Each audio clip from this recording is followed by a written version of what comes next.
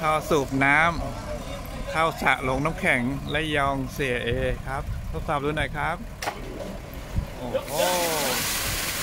สุดยอดเลยครับ โอ้โหแรงมันทัดใจเลยครับได้กี่แอมป์ครับ20แอมป์ครับอ๋อแอมป์แอมป์เหลือเยอะเลยครับโอเคขอบคุณมากครับเร่งเบาได้เลยนะครับ โอเคทีมงานนิยม PVC ดรดนผู้ใหญ่ท่านครับสวัสดี ครับ